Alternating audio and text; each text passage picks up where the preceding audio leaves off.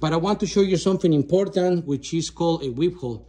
This particular Zoeller pump pump already has a weep hole. Uh, this is a 1 8 of an inch weep hole, but uh, as you can tell, the, the pump already has some, a little bit of corrosion in there. So we don't want that weep hole to be uh, sealed. In the event of that weep hole to be sealed, these pumps are not self self prime.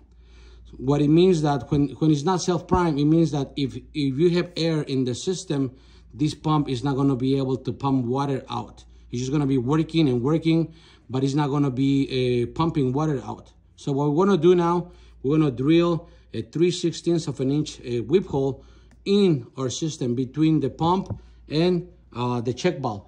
I'm gonna drill it about, I'll say about an inch away from, uh, from this connection. I'm, I'm, gonna start straight and then as soon as I'm in, I'm gonna keep it in, in 45 degree angle, okay?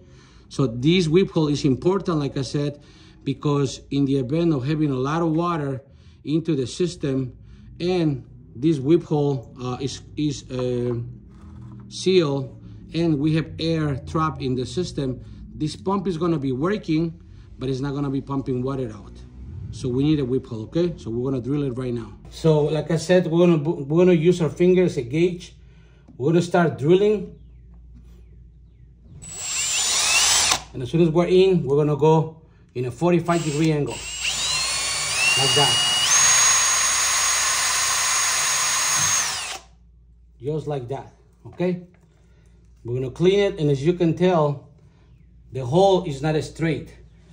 The reason why we do it like that is because we want the water to drip down and expel the water this way, not straight, not up. Okay, we want it to go down. So now what we're gonna do is that we're gonna install the pump and put it back and I'm gonna show you how it's gonna fit.